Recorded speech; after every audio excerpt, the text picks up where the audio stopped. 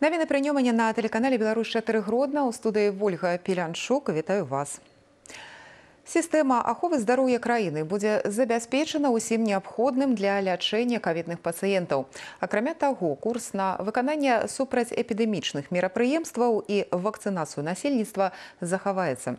Такія асноўныя тэзісы пашыранага пасяджэння, прысвечанага сітуацыі з COVID-19, якое прайшло з удзелам прэзідэнта краіны Александра Лукашэнкі. Па відэасувязі аб бягучым стане ў рэгіёнах кіраўніку краіны паведамілі старшыні выканкамаў і адказныя асобы медыцынскай галіны. Як расказаў Владзімир Каранік, у параўнанні з іншымі ў гродзенскім рэгіёне самыя нізкія паказчыкі па захворванні каронавіруснай інфекцыі і пнеўманіямі. Але гэта не нагода расслабляцца. Это достигнуто благодаря тому, что последние вот э, месяца полтора достаточно активно проводится а, программа вакцинации, и причем вакцинируются социально, ну не социально уязвимые группы населения, это пожилое население, люди с хроническими заболеваниями, а также те люди, которые могут существенно оказать влияние на активизацию эпидемиологического процесса. Если сохранится такая вот позитивная динамика, то я надеюсь, что в ближайшее время мы сможем сформировать все-таки коллективный иммунитет и будем видеть снижение цифр заболеваемости. На дадзены момант амаль 30% насельніцтва вобласці прайшлі вакцынацыю ад каронавіруса. Першую дозу прэпарата атрымалі звыш 90% работнікаў сацыяльнай сферы і медыцынскай, 77% педагогаў, 61 і 66 людзі старэйшыя за 60 год і з хранічнымі захворваннямі адпаведна. Як прагучала сістэма аховы здароўя забяспечана ўсім неабходным для лячэння кавідных пацыентаў. Важна, што ў рэгіёне працягваюцца і планавыя аперацыі. Естественно, мы э, соблюдаем меры предосторожности. Там, в тех случаях, когда без ущерба для здоровья Э, данная манипуляция может быть отнесена, мы рекомендуем это делать. И вопрос не в том, что у нас нет для этого ресурсов. Вопрос в том, что любая операция это все-таки определенное требуется восстановительный период, определенное снижение иммунитета. Если у человека высокий э, риск тяжелого течения заболевания, то вот это снижение иммунитета и восстановительный период может э, как бы негативно сказаться на состоянии его здоровья. Рэакцыя на запыты і патрэбы установаў аховы здароўя вобласці і надалей будзе імгненнай. Акрамя таго, падтрымку атрымаюць і тыя, хто дапамагае ўрачам супрацьстаяць каронавіруснай інфекцыі. Як прыклад прадпрыемства гродна азот, дзе паралельна асноўнай вытворчасці пачалася выпрацоўка медыцынскага кіслароду. Разговаривал с главным инженером азота вчера, и он, э, молодец, включился э, в помощь очень хорошо. Например, там есть несертифицированные баллоны. Э, обратил на это внимание, чтобы это мгновенно было решено. Есть, допустим, баллоны, к которым неосторожно прикоснулись, и там есть органическое вещество на местах соединения. Устраняют сразу же и предпринимают э, меры профилактики, чтобы такого не было, то есть безопасность прежде всего. Увеличилось количество машин, которые доставляют кислород, то есть раньше справлялись штатными, а теперь же нужно больше. Кантроль якасці кіслароду вядзецца на ўсіх этапах ад вытворчасці да транспарціроўкі. Дададзім, што медыцын... медыцынай запатрабаваны як вадкі, так і газападобны кісларод. Як адзначаецца гродна азот, гатовы цалкам закрыць патрэбы ў апошнім усіх установаў аховы здароўя в области. Не дапусціць неабгрунтаванага росту коштаў, асабліва на сацыяльна значныя тавары і медыкаменты. Даручэнне прэзідэнта дадзенае прафсаюзам камітэту дзяржкантролю адпаведным падраздзяленнем урада і дэпутатам. Задача спецыялістаў кантроль за дысцыплінай цэнаўтварэння, а пры выяўленні моцнага скачка коштаў прыняць адпаведных мер рэагавання. Пад асаблівым кантролем ва ўмовах чацвёртай хвалі і росту колькасці захварэлых на COVID-19 вывучэнне коштаў на лекі і медсродкі. Да маніторынгу цэн актыўна падключыліся дэпутаты палаты прадстаўнікоў нацыянальнага сходу Беларусі. глава нашего государства четко расставил вот основные задачи да, по остановке э, коронавирусной инфекции. Это обеспечить здравоохранение всем необходимым и лечить людей. Ну так вот, чтобы лечить людей, нам, конечно, нужны лекарства. Многие люди сейчас лечатся амбулаторно и сами приобретают препараты. Важно, чтобы они были в аптеке и чтобы они стоили доступно. Праверачныя мерапрыемствы праходзяць у дзяржаўных і прыватных аптэках на аптэчных складах.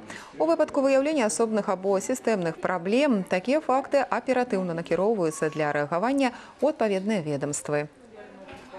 На некоторые импортные препараты рост цен составил до 20%.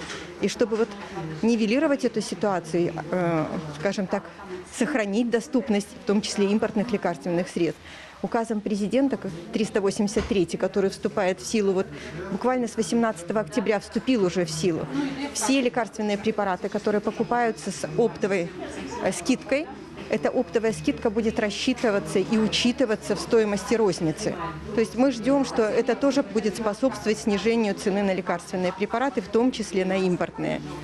И в соответствии с этим указом в равные условия поставлены государственные аптеки и частные. Нагадаем, што ў нашай краіне дзейнічае пастанова аб дзяржаўным рэгуляванні цэн, накіраваная на папярэджанне завышэння коштаў на прадукты харчавання, лекі і забеспячэнне даступнасці іх для насельніцтва. Гэта значыць, што прадукты першай неабходнасці і лекавыя сродкі не павінны даражэць больш чым на 0,2 проценты ў месяц. Такія меры беларускаму ўраду прыйшлося прыняць за фактаў росту коштаў на сацыяльна значныя тавары. Для кантролю за цэнаўтварэннем і недапушчэннем неабгрунтаванага завышэння у кожнай вобласці створаны і працуюць спецыяльныя рабочыя групы. З візітам абласны цэнтр наведаў герой рассіі трохразовы алімпійскі чэмпіён па грэка-рымскай барацьбе Александр Карэлін. Стала гэта магчымым у рамках праграмы грозенскага універсітэта імя Янкі Купалы запрошаны прафесор, якая рэалізуецца больш за 10 гадоў. За гэты час у горадзе над Нёманам пабывалі метрапаліт Філарэт, польскі рэжысёр Кшыштаф Занусі, швейцарскі журналіст Томас Фогель, лаўрат Нобелевскай прэміі Жары Салфёраў і многія іншыя славутыя дзеячы. Пачаўся візіт Александра Карэліна сустрэчы са старшынёй аблваканкама Владзімірам Каранікам, падчас якой славуты спартсмен, расійскі сенатар закрануў тэму перспектыў расійска-беларускага супрацоўніцтва на ўзроўні рэгіёнаў.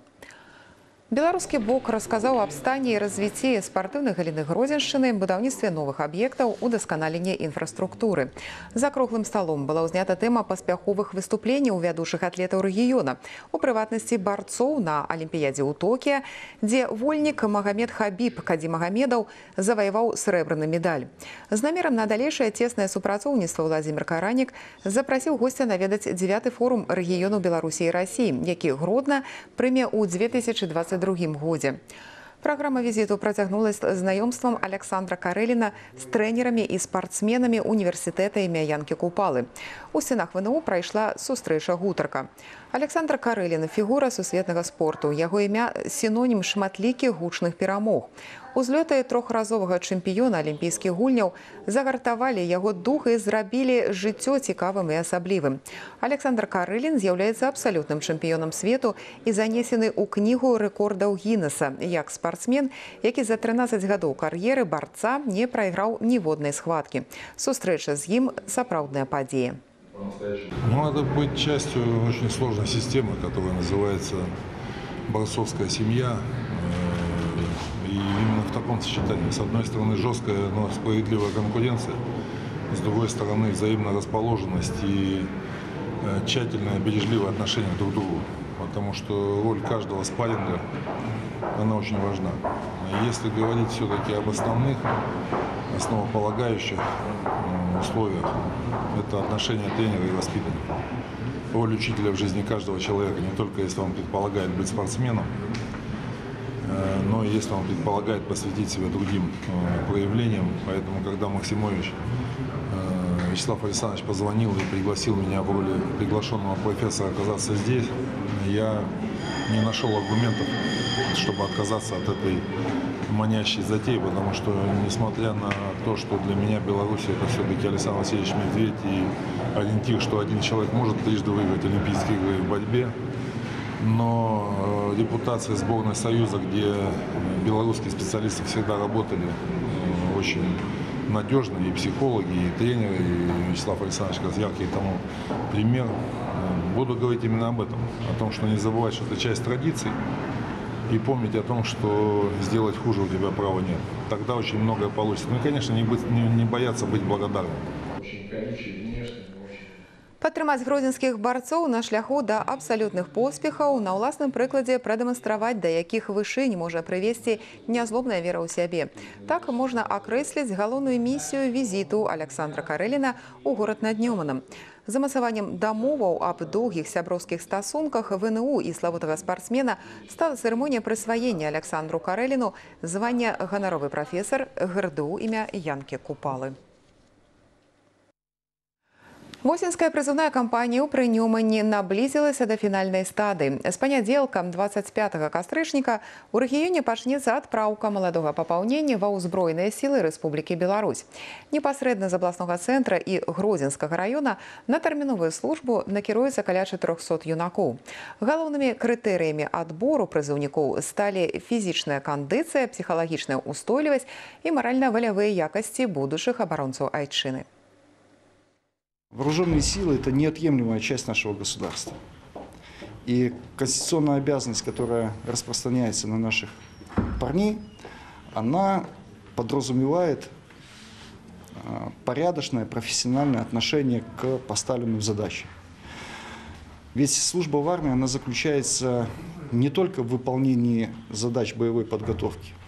Это и становление молодого человека как мужчины, а, осознать а, в том, что он является защитником своего дома, защитником своего города и в целом защитником своего Отечества. На кантрольную яўку ў ваенкамат Гродна і Гродзенскага раёна прыбылі каля 30 маладых людзей, якія ў складзе першых каманд ужо на наступным тыднем накіруюцца да месцаў праходжання службы. Напярэдадні адпраўкі для юнакоў была арганізавана інфармацыйна-азнаямленчае мерапрыемства дзень прызыўніка. Сваім вопытам службы з прысутнымі падзяліліся запрошаныя ветэраны ўзброеных сіл. Асноўныя афіцеры нагадалі прызыўнікам, што абарона айчыны ва ўсе часы была святым абавязкам мужчын. В то время отправляли служить в разные точки Советского Союза. Это можно было, как говорится, родиться на Западе, поехать на Дальний Восток. Вот. Ну, ехали, ничего, не, как говорится, не, не боялись. Дорогу осиливает идущий, поэтому я им и хочу сказать, что э, старайтесь, ребята, старайтесь понять, что от вас хотят, вот, что вы должны сделать. Все получится. Сёлета восеньскі прызыў праходзіць раней звычайнага. Адпраўкі новага папаўнення ў ваеннай часці і злучэнні распачнуцца ўжо 25 кастрычніка. Накіроўвацца на тэрміновую службу з абласнога зборнага пункта маладыя людзі прынёмання працягнуць да 19 лістапада. У ліку новабранцаў будзе і чатыры сотні найбольш фізічна і маральна падрыхтаваных прызыўнікоў гродна і раёна. І на тыдні ў 74-м асобным палку прайшло ўрачыстае мерапрыемства з нагоды дня войска ў сувязі Беларусі, якім сёлета спаўняецца 102 гады. Да святочнага дня на тэрыторыі палка аднавіла работу салдацкая сталовая, а замасаваў падзею асаблівы распарадак дня салдат і афіцэраў. Вынос сцяга часці перад строем салдат і афіцэраў падкрэслівае ўрачыстасць моманту. Мерапрыемства ладзіцца да дня войска ў сувязі Беларусі. Побач на пляцы лінейка найноўшай тэхнікі, якая знаходіцца на ўзбраенні 74 асобнага палка. З прадстаўленых экспанатаў вылучаецца камбінаваная радыёстанцыя «Волат». Айчынная распрацоўка, кажуць ваенныя, выдатна себе зарекомендовала навучэнне «Захад 2021». На учениях техника все показала достойно, очень даже хорошо, обеспечивала связь для командующего и в движении, и с места.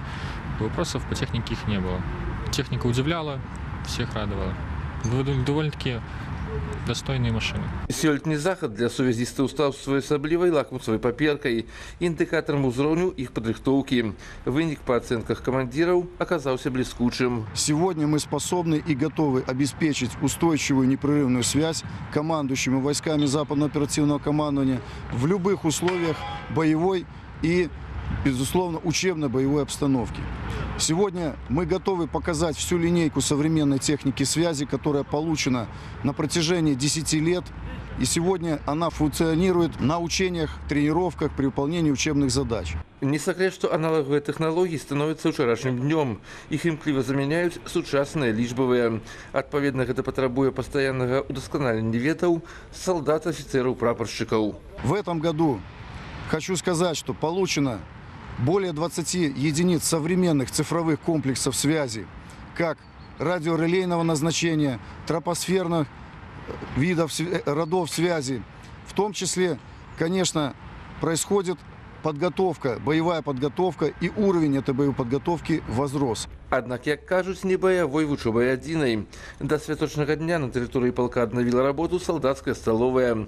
Пасля рамонту тут з'явілася утульная зала прыёму ежы, тэхналагічныя памяшканні для персоналу установы. После ремонта у нас стало очень красивое. Мы получили новое оборудование, полностью отремонтировали цеха, подсобное помещение. Приятно работать. Нам закупили новую плиту, э, новую картофелечистку, новый ж- жарочный шкаф, вот в котором мы булочки выпекаем. Да слова, мясцовая выпечка лічыцца найсмачнейшай у гродзенскім гарнізоне. Сёння яна зноў у прамым сэнсе разляціцца гарачымі булачкамі, як здобны бонус для салдат. На гадзінніку пачатак 11 раніцы і повары прыступаюць да гатавання асноўных абедзеных страў. Меню для байцоў распрацавана прафесійнымі тэхнолагамі. На первое мы готовим щи из свежей капусты со сметаной. На второе у нас сегодня макароны отварные а, и, с- и колбаса свиная. Салат, огурцы пряные. Афіцэры ўсміхаюцца. Якасная кухня заўсёды гарантуе баявыя поспехі. Аднак без жартаў падкрэсліваюць людзі ў пагонах у аснове залежнасць дзеянняў аднапалчан у любых сітуацыях. Як паказваюць шматлікія зборы палявыя выхады і вучэнні, з пастаўленымі задачамі гродзенскія сувязісты паспяхова спраўляюцца. У Гродзенскай вобласці сёлета 52 асобны спецыялізаваны пошукавы батальён Міністэрства абароны Беларусі эксгумаваў 49 астанкаў у асноўным салдат, якія загінулі ў часы вялікайчыннай вайны. Пошукавыя працы вяліся ў слонемскім, дзятлаўскім і гродзенскім раёнах. Для ўстанаўлення месца праходжання баёў часоў вялікайчынай праводзіцца карпатлівая праца з архівамі, з звесткамі ад мясцовых жыхароў, складаюцца інфармацыйныя лісты. Толькі потым да працы прыступае 52 батальён, адзінае падраздзяленне ў рэспубліцы, якое займаецца пошукам і ідэнтыфікацыяй астанкаў салдат, якія загінулі на тэрыторыі Беларусі ў баях розных гадоў. Акрамя таго, для дапамогі вайскоўцам на тэрыторыі Гродзенскай вобласці функцыянуе чатыры пошукавыя клубы, створаныя на базах установаў адукацыі. На сегодняшний день, в 2000 д- 2021 году, поисковый ра- батальон работал на шести объектах. Эксгумировано 49 останков, 45 уже перезахоронены с почестями, так как соответствует настоящим героям. По остальным еще проводится определенная работа. Дарэчы, у 2020 годзе на тэрыторыі слонімскага і дзятлаўскага раёнаў былі адшуканы астанкі 18 абаронцаў айчыны. Па краіне знойдзены і перапахаваны астанкі 878 загінулых у гады вялікайчыннай вайны. Але юбілейная з'явілася ў грудні. Высаджаныя бярозкі цяпер радуюць жыхароў і гасцей горада над Нёманам у маляўнічай зоне адпачынку ў калужскім парку. Такім чынам следчыя гродзеншчыны вырашылі карыснай справай працягнуць мерапрыемствы да дзесяцігоддзя ўтварэння следчага камітэта Рэспублікі Беларусь. Сегодняшняя акция, она посвящена празднованию десятилетия Следственного комитета, который состоялся 12 сентября. Но с учетом того, что для деревьев сентябрь не самая лучшая пора года для высаживания, мы перенесли на октябрь, когда надеемся, что те деревья, которые мы сегодня посадили, они примутся, они будут радовать гродненцев. У калужскім парку на стварэнне яшчэ аднаго утульнага месца для шпацараў сабралася кіраўніцтва СК і маладыя следчыя. Прысутныя актыўна ўзяліся за рыдлёўкі, каб закласці новую алею. Трэба азначыць, што зялёную ініцыятыву падтрымалі ўсе супрацоўнікі рэгіянальнага ўправлення следчага камітэта яшчэ на пачатку абмеркавання ідэі. У перспектыве закладзеная алея будзе папаўняцца новымі саджанцамі. Ужо агучана прапанова зрабіць мерапрыемства традыцыйным і высаджваць у калорскім парку дрэвы штогод, каб родны горад станавіўся больш зялёным і чыстым. Всегда очень приятно жить в красивом зеленом городе, где хорошо дышать, свежо. И поэтому каждый гродненец должен э, вносить свою посильную лепту в озеленение и облагораживание нашего города. Поэтому мы вот тоже со своей стороны, со своей организацией, как только поступило предложение с активностью и с желанием приняли это приглашение, буквально вчера предложили нам, и мы сегодня уже сразу же все быстренько собрались и приехали провести такую акцию. Очень символично, что вот э, к десятилетию образования Следственного комитета мы приняли решение, высадили целую аллею, аллею э, которая очень красиво впишется в наш город. И также коллегиально приняли решение о том, что э, данная аллея будет пополняться новыми видами деревьев, которые украсят наш прекрасный Каложский парк в городе Гродно. Калектыў афіцыйных экскурсаводаў гідаў перакладчыкаў прынёманнем на гэтым тыдні папоўніўся. 10 новаспечаных спецыялістаў прайшлі адбор, тэсціраванне, атэстацыю. У выніку атрымалі права на ажыццяўленне прафесійнай дзейнасці ў галіне экскурсійна-турыстычных паслуг. Я занимаюсь историей уже с раннего детства. Я э, заканчивал факультет истории, я работаю в сфере истории и вот решил попробовать себя в такой сфере, как экскурсоводчество, проведение экскурсии. Это возможность найти какие-то новые возможности, э, возможность общения с интересными людьми и попытка показать наш город Гродно с очень красивой, очень интересной стороны, как действительно важный исторический центр и очень важный город для истории Беларуси и вообще для европейской истории. Атрыманне пасведчання экскурсавода аспрэчвала 24 прэтэндэнта, прадстаўнікі розных раёнаў вобласці.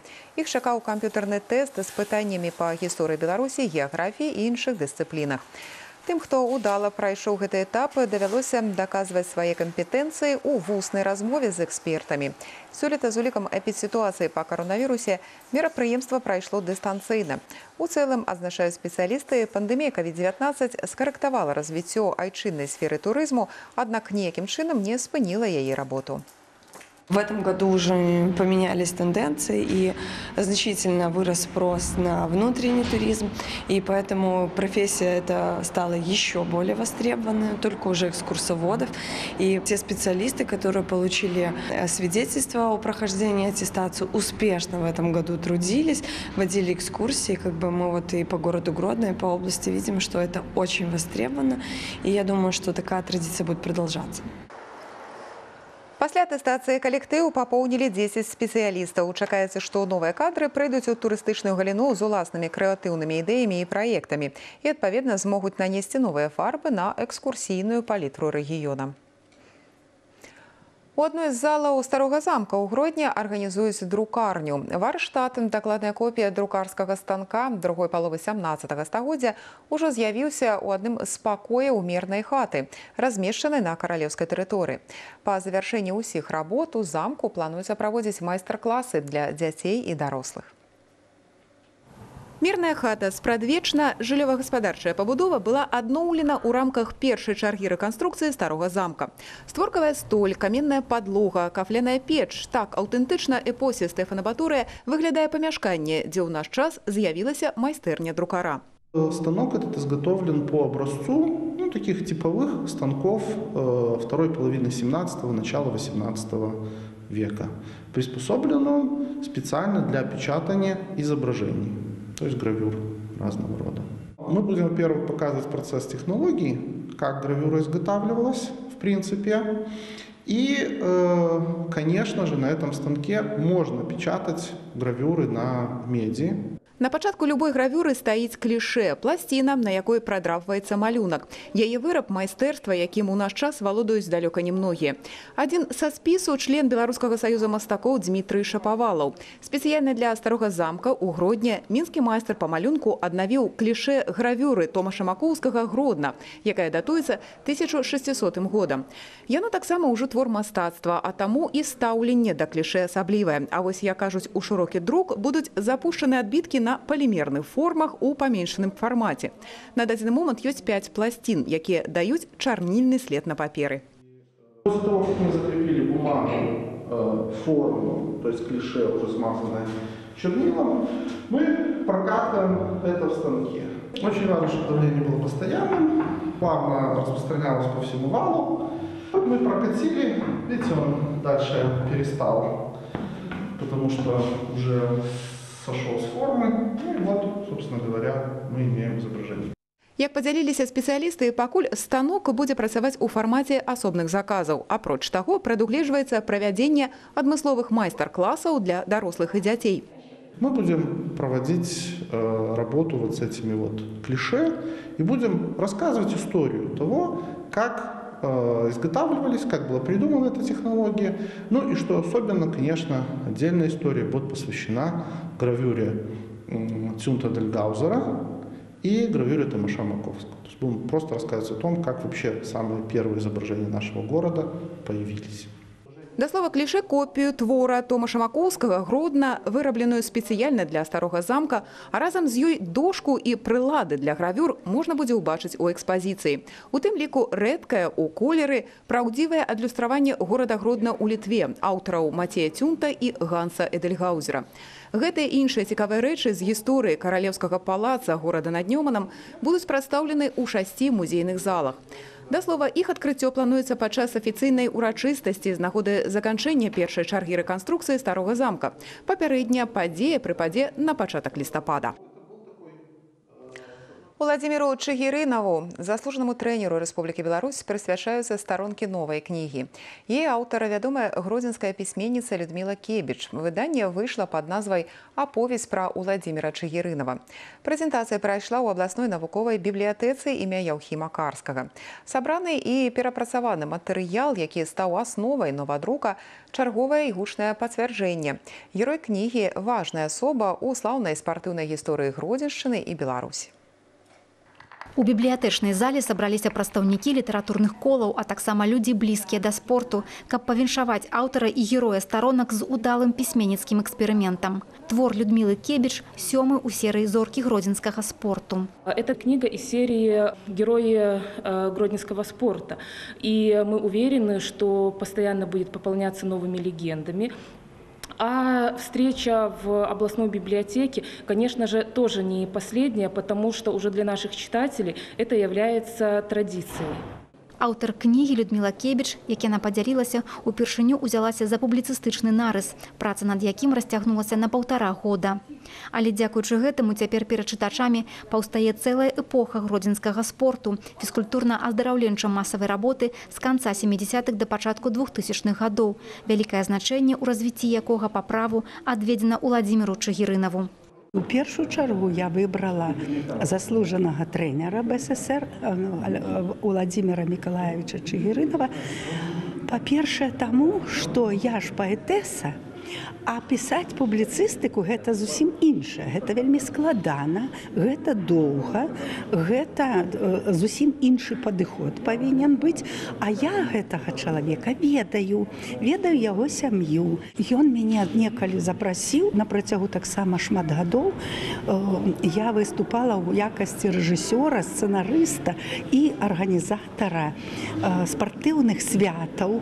Адлюстраваная эпоха на старонках кнігі ахоплівае амаль тры дзясятка год. У гэты перыяд Уладзімир Чагірынаў кіраўнік гарадскога аддзела фізічнай культуры, спорту і турызму. Аб спартыўнай галіне, падмурках поспеху, праблемах рэгіёна функцыянер ведае, што кажуць з уласнага вопыту. У яго актыве заснавання міжнароднага турніру па вольнай барацьбе, кіраўніцтва валейбольным клубам камунальнік, трэнерская пасада і безліч іншых фактаў. Это пропаганда занятий физическими упражнениями, физической культурой. Поэтому я думаю, что вот в этом плане она должна принести определенную пользу.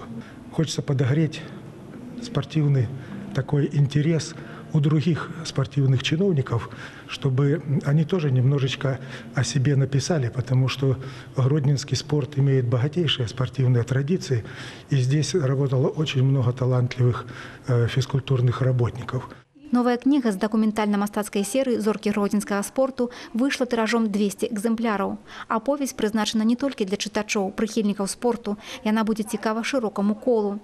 Як прагучала ад спецыялістаў, выданне пра гісторыю і развіццё спартыўнай галіны будзе даступна ва ўсіх бібліятэках горада. І на гэтым наш выпуск завершаны ўсяго добрага.